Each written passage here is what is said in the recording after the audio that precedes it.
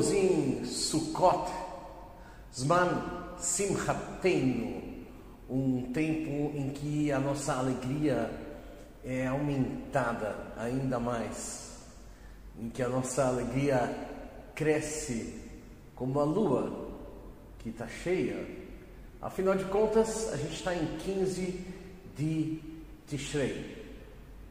Se o mês começa com a lua nova, agora dia 15, a gente está em plena lua cheia, época de abundância, uma abundância que é marcada não só pela lua, mas também pela presença dos nossos convidados.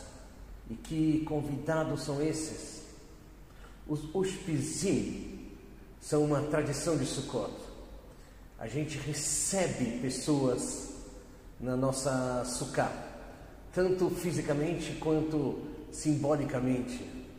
E os convidados do dia 15 são nada mais, nada menos do que Abraão e Sará. Eles que são Merkavot de Hesed, o amor, a própria hospitalidade, a compaixão. Por isso o dia 15 evoca a água, já que a água na Torá ela é um símbolo de Hesed. E antigamente, nos tempos do templo, existia um ritual que envolvia a água. Ela era coletada na fonte em Jerusalém e ela era despejada no altar. É um ritual que tem uma certa complementaridade com o Tashlich e que tem a ver com Teshuvah. É como se em Sukkot, através da nossa transformação, a gente conseguisse levar tudo aquilo que foi falta, que foi pecado, a gente conseguisse elevar e transformar em mérito e em alegria. E falando em alegria, Sukkot nos leva a uma reflexão muito importante, porque as Sukkot, elas são todas frágeis, a gente consegue ver o céu. A Sukkah é um abrigo provisório, afinal de contas, é uma cabana em pleno deserto.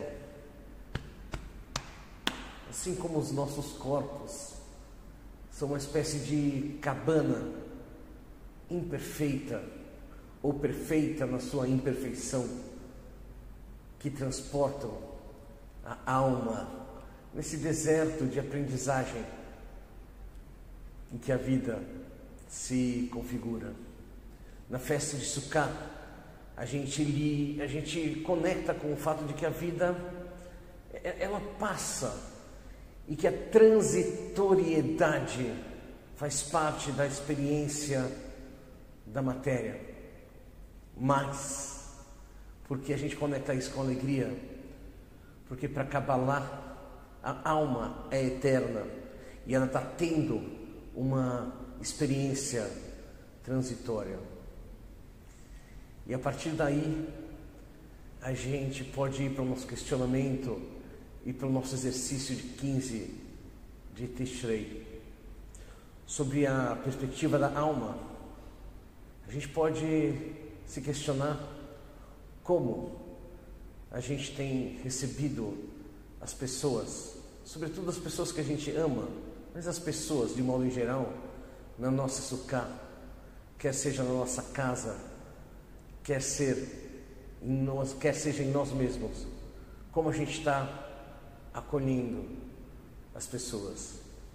E o exercício é o seguinte: a gente olhar assim para a transitoriedade da vida, a gente se dá conta que esse Mashiach não chega antes. As pessoas que a gente ama e a própria vida aqui na finitude um dia acaba. O grande exercício é diante dessa reflexão a gente conseguir se alegrar pela oportunidade de estar com essas pessoas, com a oportunidade de vivenciar esse mundo com todos seus desafios. E aí, você topa tentar? Vamos aumentar nossa alegria. Hag Sukkot Sameach Hag Sukkot Besimcha